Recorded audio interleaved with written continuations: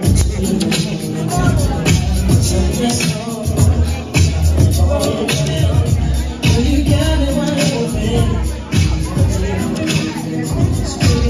up everybody, my name is Innocent. I am the owner of Flash Party Photo Booth and I'm here in Pflugerville, Texas in Elevate Venue and I'm here with the lovely couple uh, Tremaine and Erica just celebrated their wedding and um, despite the storm, um, got a phone call today at around 3:40, and I got here within an hour and a half to set up.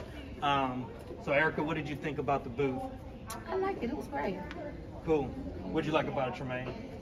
I like it. Uh, it, it, it, it looked like it was something like uh, out of the future or whatever. I never seen a picture booth or whatever like this here. Right, right. You know, he was rolling it in, and I was like, Mama, what this gonna be? But he busted open it, and it's the truth, man. Uh, everybody in the room was excited about it, man. You know, the, the picture man is where it's at, man. So mm-hmm. There you go. come and get your pictures taken. You got some event or whatever coming up, man. Holla at your boy, man. Appreciate get with it. him so he can come and set your booth up, man, so he can be on fire, man.